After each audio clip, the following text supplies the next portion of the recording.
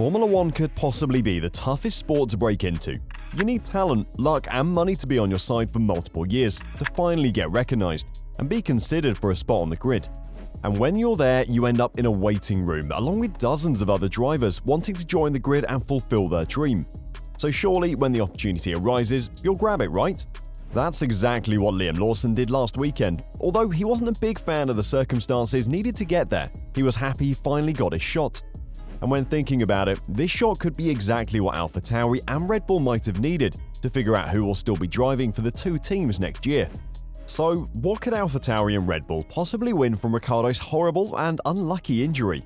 Well, they now have the time to make their new master plan. We'll call it the Liam Lawson master plan. And we'll fill you in on what that might mean for both teams. But first, how long will we miss Ricciardo? Well, Red Bull advisor Helmut Marko has delivered a concerning update on Daniel Ricciardo's hand injury, which forced him to withdraw from the Dutch Grand Prix. As we all know, during the second free practice session, Ricciardo crashed at turn 3 and broke a metacarpal in his left hand. On Sunday, the Austrian driver underwent successful surgery in Barcelona, but Marko claims that the breakage is more difficult than the team initially assumed. Unfortunately, the fracture is complicated. It's not a straight fracture, he said. Red Bull team principal Christian Horner earlier stated that Ricciardo will most likely compete in the Singapore Grand Prix. However, Marko believes that this is now a remote possibility. In all likelihood, the AlphaTauri driver will also mix the next two races in Italy and Singapore. We'll get confirmation from the doctor, but it looks bad for the next two races. AlphaTauri CEO Peter Bayer added, I spoke with his manager. The surgery went well, even if the fracture was more complicated than expected. He'll stay in Barcelona for a few days for observation. We wish him all the best. Ricciardo was reportedly treated by famous MotoGP doctor Xavier Mir after undergoing surgery and metalwork in Barcelona on Sunday. This is the same doctor that performed surgery on Lance Stroll at the start of the season, so a fast recovery is expected.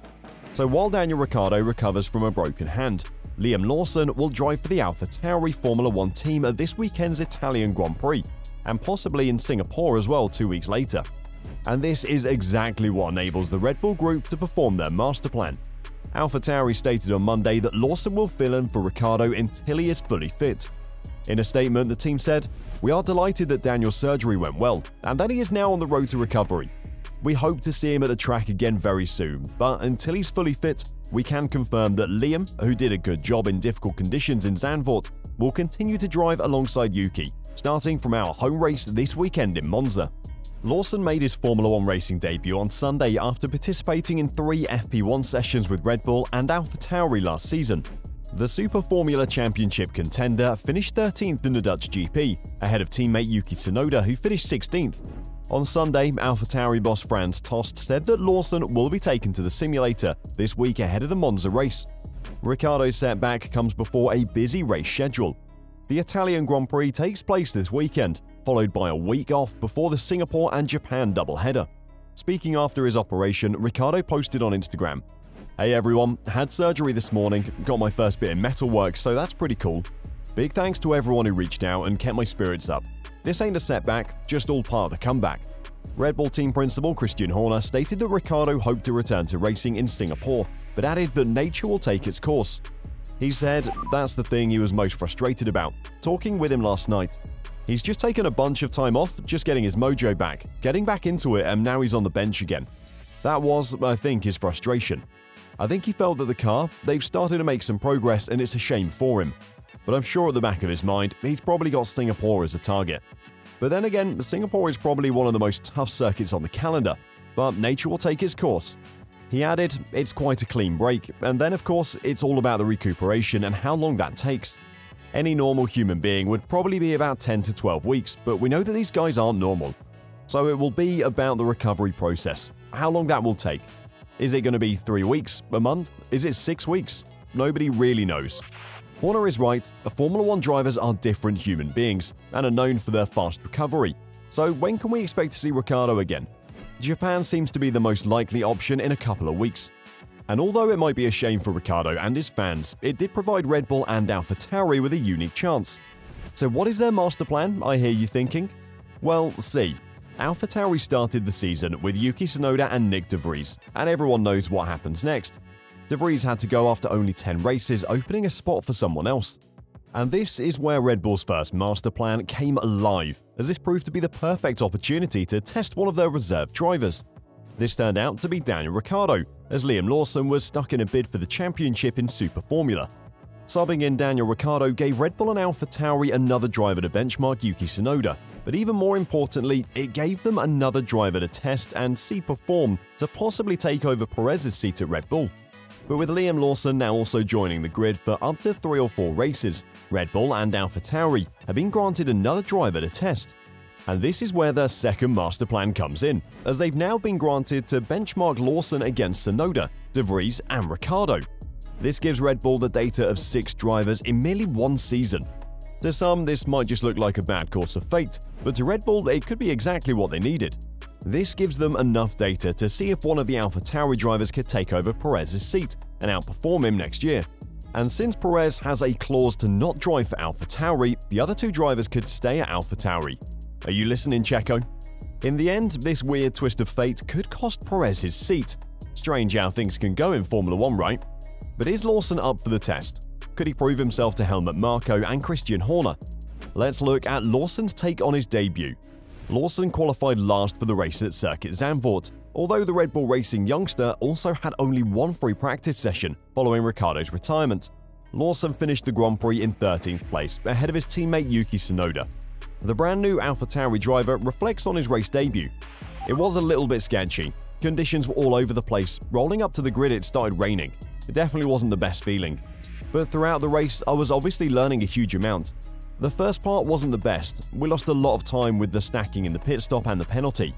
That's all part of it, obviously. But the second half, I think I started to get a better feeling on the softs in the clean air. And then on the inters as well, I felt a lot more comfortable than yesterday, that's for sure. During the race, Lawson got into a brawl with Ferrari driver Charles Leclerc. They had multiple wheel-to-wheel -wheel battles. That was quite eventful to be fair. I think he was struggling a lot on the softs.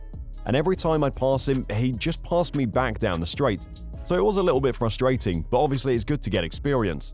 I feel like I had the experience of every situation in that race, with multiple pit stops, wheel-to-wheel -wheel racing, rain, dry, so it was a good learning experience, Lawson concluded. So what are your thoughts on Red Bull's new master plan?